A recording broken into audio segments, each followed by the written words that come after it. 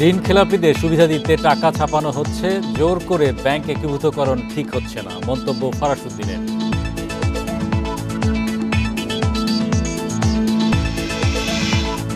এলপিজির বারো কেজি সিলিন্ডারের দাম কমল উনপঞ্চাশ টাকা, জ্বালানি খাতের অনিয়মের দায় চাপানো হচ্ছে ভোক্তার ওপর, অভিযোগ ক্যাবিন।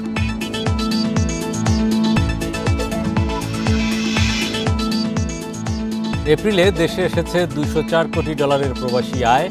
আগের বছরের একই সময়ের চেয়ে আয় বেড়েছে একুশ ভাগ। আমন্ত্রণ অর্থনীতি সারাদিনে। আপনাদের সাথে আছি হরি সাহা। শুনছিলেন শিরোনাম, এবার জানাব বিস্তারিত।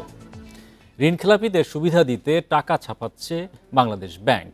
এজন্য নিয়ন্ত্রণে আসছে না মূল্যস্ফীতি। সাংবাদিকদের সংগঠন ইআরএফ আয়োজিত আলোচনায় এমন মন্তব্য কেন্দ্রীয় ব্যাংকের সাবেক গভর্নর মোহাম্মদ ফরাসুদ্দিনের। তিনি বলেন, জোর করে ব্যাংক একীভূতকরণ ঠিক হচ্ছে না। অর্থ পাচার বিষয়ে দাতা সংস্থা আইএমএফ ও সরকারের নিষ্ক্রিয়তারও সমালোচনা করেন ফরাসুদ্দিন। করোনা ও রাশিয়া ইউক্রেন যুদ্ধের কারণে বিশ্বজুড়ে দেখা দেয় উচ্চ মূল্যস্ফীতি সব ধরনের পণ্যের দাম বাড়ে অস্বাভাবিকভাবে। তবে বেশিরভাগ দেশই মূল্যস্ফীতি নিয়ন্ত্রণে সফল হয়েছে। শ্রীলঙ্কার মতো দেউলিয়া দেশেও কমেছে পণ্যের দাম, কিন্তু মূল্যস্ফীতি কমাতে পারছে না বাংলাদেশ ব্যাংক।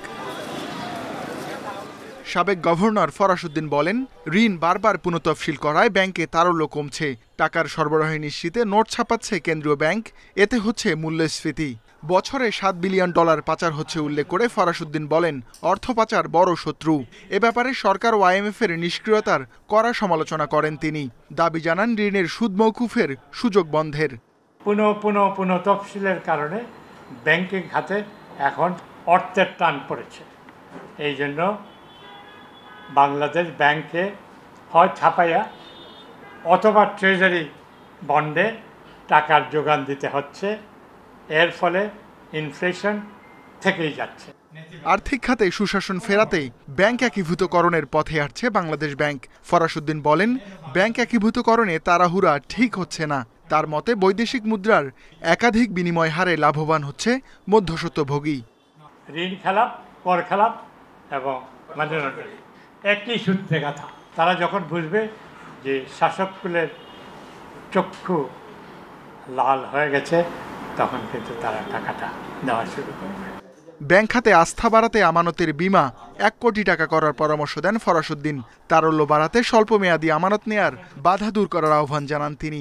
দীর্ঘমেয়াদী ঋণের জন্য শেয়ার বাজার উন্নয়নের তাগিদ দেন সাবেক এই governor. Ruhul Amin Independent News Dhaka. টানা আট দফা বাড়ানোর পর দ্বিতীয়বারের মতো দাম কমল বেসরকারিভাবে বাজারজাত করা এলপিজির। বারো কেজির সিলিন্ডারের দাম উনপঞ্চাশ টাকা কমিয়ে এখন এক হাজার তিনশো তিরানব্বই টাকা। দুপুরে Bangladesh Energy Regulatory Commission BERC জানায়, ডলারের দর ও কাঁচামালের দাম কমায়, এলপিজির মূল্য কমেছে। বিশ্ববাজারে তরলীকৃত গ্যাসের প্রধান উপকরণ প্রোপেন ও বিউটেনের গড় দামের বিবেচনায় টানা আট মাস এলপিজি সিলিন্ডারের দাম বাড়ানো হয়। এ সময় বারো কেজির সিলিন্ডারের দাম বাড়ে চারশো তিরাশি টাকা পর্যন্ত। কিন্তু গত দুই মাসে কাঁচামালের দাম কমার পাশাপাশি কমেছে ডলারের দরও। এতে টানা দ্বিতীয়বারের মতো কমল এলপিজি গ্যাসের দাম। মে মাসের জন্য দাম প্রতি কেজিতে ষোলো টাকা আট পয়সা কমিয়েছে বিইআরসি। এতে ভোক্তা পর্যায়ে বারো কেজির এলপিজি গ্যাস সিলিন্ডারের দাম উনপঞ্চাশ টাকা কমিয়ে এক হাজার তিনশো তিরানব্বই টাকা নির্ধারণ করেছে নিয়ন্ত্রক সংস্থা। গত মাসে বারো কেজির মূল্য ছিল চোদ্দোশো বিয়াল্লিশ টাকা। এই মাসে সেটা হয়েছে তেরোশো তিরানব্বই টাকা এবং উনপঞ্চাশ টাকা কমেছে। কোম্পানি বিক্রি করবে বারোশো আটানব্বই টাকায়, পাইকারি বিক্রেতা বিক্রি করবে তেরোশো আটচল্লিশ টাকায় এবং খুচরা বিক্রেতা বিক্রি করবে তেরোশো তিরানব্বই টাকায়। তবে দাম কমলেও সন্তুষ্ট নন ক্রেতারা। নির্ধারিত দামের চেয়ে বেশি দরে বিক্রির অভিযোগ তাদের তাই বাজারে তদারকি বাড়ানোর দাবি ভোক্তাদের। কমলে অবশ্যই ভালো সবার জন্য ভালো। বিশেষ করে যারা ইউজ করে ইউজার ওদের জন্য অনেক ভালো সাশ্রয়ী দামে ওরা পাচ্ছে। পঞ্চাশ টাকা কমছে এটা তো সাধারণভাবে তো পঞ্চাশ টাকা মাত্রা কমছে। এটা তো অনেক এখনও পনেরোশো টাকা আছে পনেরোশো টাকা আমাদের মিলেতে একটা অনেক হেভি জিবি খাওয়ার লাগে। ভোক্তা পর্যায়ে গাড়িতে ব্যবহৃত অটো গ্যাসের দামও লিটারে দুই টাকা উনত্রিশ পয়সা কমিয়ে তেষট্টি টাকা বিরানব্বই পয়সা ঠিক করেছে BERC Amirul Islam Independent News Dhaka. আইএমএফের শর্ত পূরণের নামে বিদ্যুৎ জ্বালানি খাতে অনিয়মের দায় ভোক্তাদের ওপর চাপানোর অভিযোগ করেছে Consumers Association of Bangladesh CAB এখাতে যারা লুটপাট করছে, নীতি নির্ধারকরা তাদের সুরক্ষা দিচ্ছে বলেও দাবি সংগঠনটির। রাজধানীতে সকালে এক সংবাদ সম্মেলনে বিইআরসির গণশুনানি চালু সহ তেরো দফা দাবি তুলে ধরা হয়। বাংলাদেশকে ঋণ দিতে বিদ্যুৎ জ্বালানি সহ বিভিন্ন খাতে ভর্তুকি তুলে নেওয়ার শর্ত আন্তর্জাতিক মুদ্রা তহবিল আইএমএফ এর আর তা পূরণে এরই মধ্যে কয়েক দফা বিদ্যুৎ ও জ্বালানি তেলের দাম বাড়িয়েছে সরকার। দফায় দফায় মূল্য বৃদ্ধির চাপে নাজেহাল সাধারণ মানুষ। উচ্চ মূল্য আর ভর্তুকির জন্য লাগামহীন দুর্নীতি ও অনিয়মকে দায়ী দিচ্ছে ক্যাব। মানুষের উপরে বোঝা চাপিয়ে দিয়ে মূল্য বৃদ্ধি করে ভর্তুকি কমানোর যে পথ, সে পথ থেকে সরকারকে বিরত রাখুন। অভিযোগে অভিযুক্ত অন্য চুক্তিসমূহ যাচাই বাছাই ক্রমে বাতিল হতে হবে। সেই সাথে জ্বালানি সনদ চুক্তি উনিশশো চুরানব্বই স্বাক্ষরে সরকারকে বিরত থাকতে হবে। তেরো নম্বর জ্বালানি নিরাপত্তা সুরক্ষার লক্ষ্যে বিদ্যুৎ ও জ্বালানির মূল্যহার বৃদ্ধি নিয়ন্ত্রণের জন্য এনার্জি প্রাইস স্ট্যাবিলাইজড ফান্ড গঠিত হতে হবে। বিদ্যুৎ খাতে বিদেশিদের সঙ্গে করা অনেক চুক্তি স্বচ্ছ নয় বলে অভিযোগ বিশেষজ্ঞদের। এ বিষয়ে সংসদে বিস্তারিত আলোচনার দাবি তাদের। ব্যাড প্ল্যানিং এবং অন্যান্য কারণে হয়েছে, যেগুলা ভোক্তার কোনো রকমের এর মধ্যে সংযুক্ত নাই। সে এখানে কোনো রকমের ইনভলভ নাই, এটাতে সেখানে কেন ভোক্তা এই জিনিসটা দেবেন সামিটের সঙ্গে চুক্তি হয়েছে, আদানির সঙ্গে চুক্তি হয়েছে। যেহেতু বার্ক এখন অ্যাক্টিভ না, সুতরাং এই চুক্তিগুলো ট্রান্সপারেন্ট না। এগুলো নিয়ে কোনো আলোচনা আমরা জানি না। আমি আপনাদের মাধ্যমে সরকারের কাছে দাবি জানাচ্ছি এই চুক্তিগুলো ট্রান্সপারেন্ট করা হোক। বিদ্যুৎ জ্বালানি খাতে দাম নির্ধারণে আবারও সব পক্ষের অংশগ্রহণে বিইআরসির গণশুনানি চালুর দাবি ক্যাবের। দুই হাজার তেইশ সালের জানুয়ারির পর থেকে এই গণশুনানি এড়িয়ে নির্বাহী আদেশে বাড়ানো হচ্ছে দাম। Shahid Ahmed Independent News Dhaka. দেশের অর্থনীতিকে আরও গতিশীল করতে জোরালো ভূমিকা রাখবে জাতীয় লজিস্টিক নীতিমালা। এই নীতির সঠিক বাস্তবায়নে বাণিজ্য বৃদ্ধির আশা। বৃহস্পতিবার রাজধানীর বঙ্গবন্ধু আন্তর্জাতিক সম্মেলন কেন্দ্রে অনুষ্ঠিত এক সভায় এসব কথা বলেন বক্তারা। সভায় বক্তারা বলেন, বৈশ্বিক বাণিজ্য প্রতিযোগিতায় টিকে থাকতে দরকার বিশ্বজনীন নীতিমালা। এছাড়া উন্নয়নশীল দেশে রূপান্তরের পর কমবে নানান বাণিজ্যিক সুবিধা। বাড়বে চ্যালেঞ্জও। এসব মোকাবেলায় বাংলাদেশের সক্ষমতা বাড়াবে সরকারি বেসরকারি অংশীজনদের পদক্ষেপ। যার সমন্বয় করবে সরকারের নতুন এই উদ্যোগ। বলা হয়, ব্যয় কমিয়ে আমদানি, রপ্তানি ও স্থানীয় পণ্যের সহজ ও অবাধ চলাচল নিশ্চিত করবে নীতিমালা। এর আওতায় পণ্য উৎপাদন থেকে শুরু করে ভোক্তা পর্যায়ে পৌঁছতে মূল্য নির্ধারণ করা যাবে সমতার ভিত্তিতে।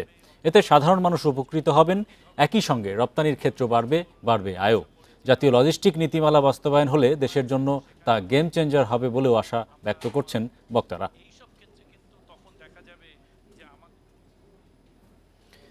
এপ্রিল মাসে দুই হাজার চার, এপ্রিল মাসে দুইশো চার কোটি ডলারের রেমিটেন্স বা প্রবাসী আয় দেশে পাঠিয়েছেন প্রবাসী বাংলাদেশিরা। দেশীয় মুদ্রায়, যার পরিমাণ বাইশ হাজার চারশো কোটি টাকা। দুই হাজার তেইশ সালে এপ্রিল মাসে তুলনায় প্রবাসী আয় বেড়েছে একুশ ভাগ। বাংলাদেশ ব্যাংকের হালনাগাদ প্রতিবেদনে এ তথ্য পাওয়া গেছে। এ মাসে দৈনিক গড়ে এসেছে ছয় কোটি আশি লাখ ডলার বা সাতশো আটচল্লিশ কোটি টাকা। এ মাসে ঈদুল ফিতর উদযাপিত হয়েছে। এর আগে চলতি বছরের জানুয়ারিতে দুইশো দশ কোটি ডলার, ফেব্রুয়ারিতে দুইশো ষোলো কোটি ষাট লাখ ডলার এবং মার্চে প্রবাসীরা পাঠিয়েছেন একশো নিরানব্বই কোটি আটষট্টি লাখ মার্কিন ডলার। গ্রামীণ টেলিকমের শ্রমিক কর্মচারীদের সংরক্ষিত ফান্ডের লভ্যাংশের টাকা আত্মসাৎ ও পাচারের মামলায় জামিন পেয়েছেন ডক্টর মোহাম্মদ ইনিউস বৃহস্পতিবার এই মামলার অভিযোগ গঠনের শুনানির দিন ধার্য থাকলেও শুনানি পিছিয়েছে। মামলার পরবর্তী শুনানি হবে দোসরা জুন। ডক্টর মোহাম্মদ ইউনুসের বিরুদ্ধে অর্থ আত্মসাৎ ও পাচারের মামলায় অভিযোগ গঠনের শুনানির দিন নির্ধারিত ছিল বৃহস্পতিবার। তবে শুনানি পিছানোর এবং জামিনের আবেদন করেন ডক্টর ইউনুস সহ চোদ্দ আসামির আইনজীবীরা। রাষ্ট্রপক্ষ প্রস্তুত থাকলেও দুপক্ষের বক্তব্য শুনে অভিযোগ গঠনের শুনানি পিছিয়ে দেন আদালত। একই সঙ্গে পূর্ব শর্তে সব আসামির জামিন মঞ্জুর করেন বিচারক। চার্জ হিয়ারিংয়ের জন্য ডেট ছিল এবং বেইলের জন্য। কোর্ট পূর্ব সত্ত্বে জামিন মঞ্জুর করেছে সকলের এবং আগামী দুই জুনের দুই তারিখে পরবর্তী শুনানির দিন ধার্য করেছে। তো ওনারা ডকুমেন্টসের অজুহাতে তারা মাননীয় আদালতের কাছে সময়ের আবেদন করেছেন। যেহেতু আজকে প্রথম তারিখ সেহেতু মাননীয় আদালত তাদেরকে সময় মঞ্জুর করেছেন এবং আমরা আশা করছি দুই ছয় তারিখ দেওয়া হয়েছে। এদিকে ডক্টর ইউনুস তার বিরুদ্ধে আনা অভিযোগের সত্য মিথ্যার বিষয়টি বিবেচনার ভার ছেড়ে দেন জনগণের উপর। আমাকে বলা হয়েছে আমি সুৎখর। বহুবার বলা হয়েছে। আপনারা সেটা গ্রহণ করেন নাই। কারণ গ্রামীণ ব্যাংকের মালিক আমি না। সুদ যদি গ্রহণ করে থাকে সে গ্রামীণ ব্যাংকের মালিকেরাই গ্রহণ করেছে। গ্রামীণ টেলিকমের শ্রমিক কর্মচারীদের সংরক্ষিত ফান্ডের লভ্যাংশের পঁচিশ কোটি টাকা আত্মসাৎ ও পাচারের অভিযোগে ডক্টর মোহাম্মদ ইউনুস সহ চোদ্দ জনের বিরুদ্ধে পয়লা ফেব্রুয়ারি অভিযোগপত্র দেয় দুদক। Rezwanul Haque, Independent News, Dhaka. পুলিশের সাবেক আইজি বেনজির আহমেদ ও তার পরিবারের জাতীয় পরিচয়পত্র, আয়কর, নথি ও কোম্পানির কাগজপত্র সংগ্রহ করেছে দুর্নীতি দমন কমিশন দুদক। গণমাধ্যমের প্রতিবেদন, বেনজিরের বক্তব্য ও নিজস্ব অনুসন্ধান শেষে প্রকৃত সত্য বের করা হবে বলছে সংস্থাটি।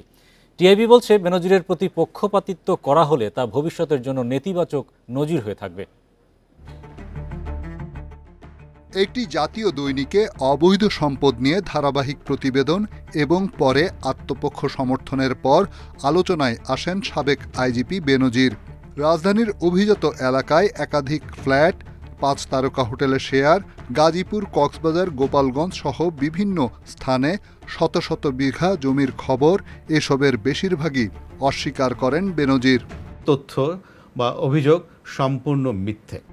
দুর্নীতি বিরোধী আন্তর্জাতিক সংস্থা টিআইবি বলছে, সাবেক আইজিপি বেনজিরের বৈধ আয়ের সাথে সম্পদের সামঞ্জস্যতা খুঁজতে হবে।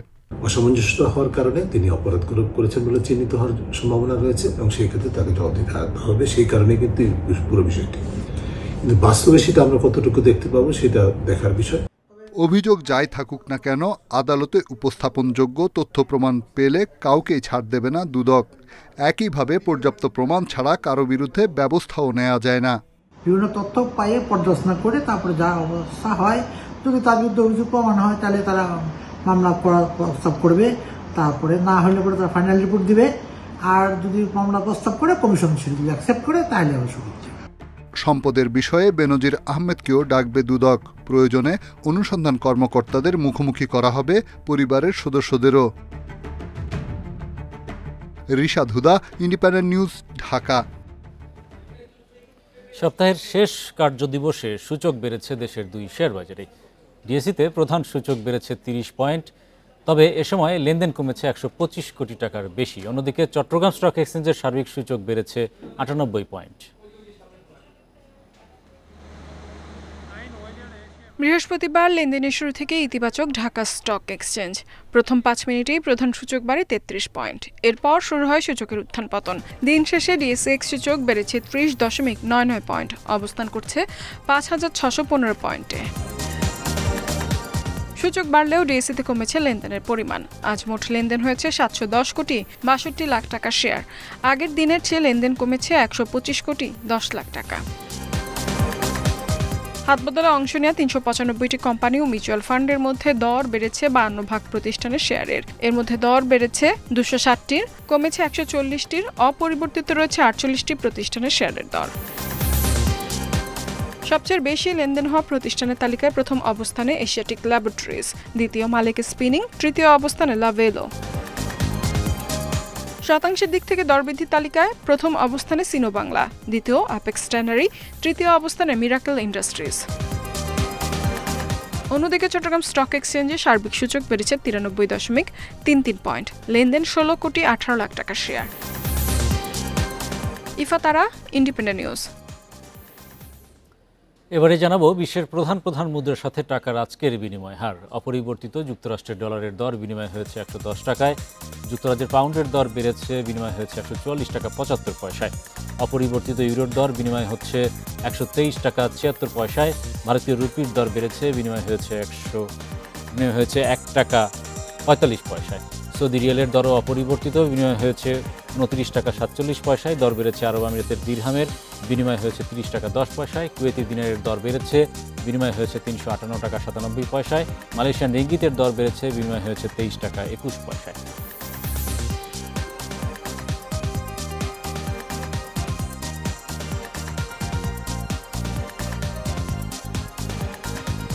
এই ছিল আজকের অর্থনীতি সারাদিনে। ইন্ডিপেন্ডেন্ট টেলিভিশনের সব খবর জানতে চোখ রাখুন ফেসবুক ইউটিউব এবং এক্সে আমন্ত্রণ আমাদের পরের আয়োজনে।